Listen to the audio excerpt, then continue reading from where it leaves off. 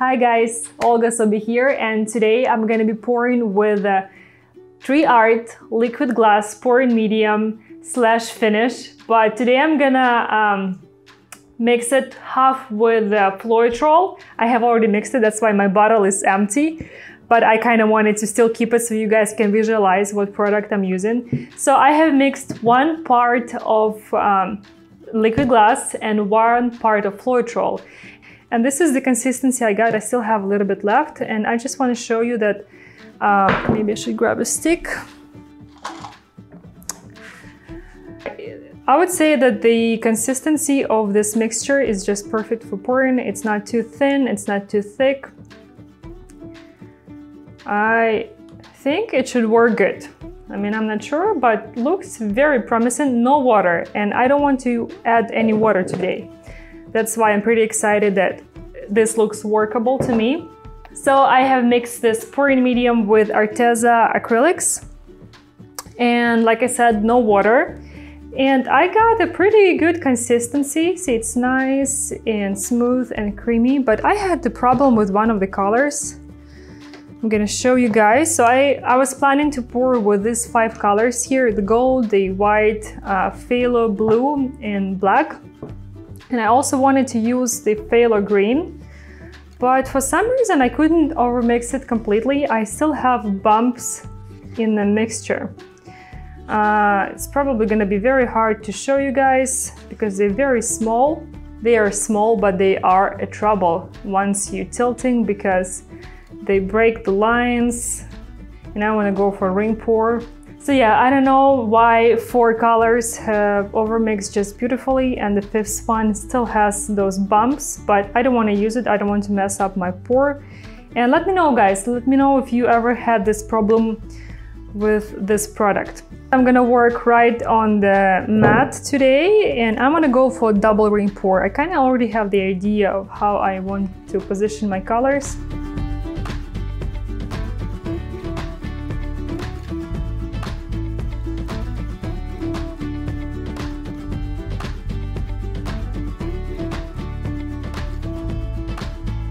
Okay, so I'm gonna do the double ring pour.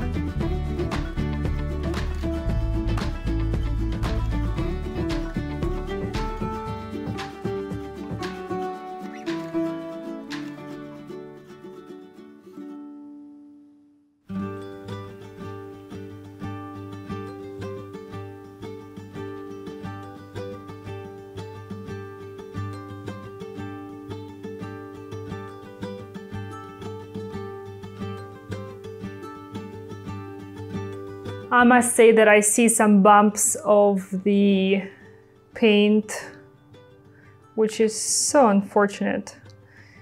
Uh, I don't know from which color it is. And I have actually spent a lot of time mixing the paint, so it's not because I didn't mix enough.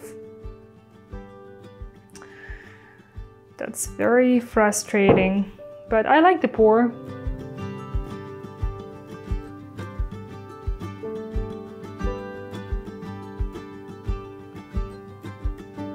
Well, I must say that I really like the way the uh, Art Liquid Glass and Floetrol Duo worked out so far. Of course, need to see how it's gonna look when dry.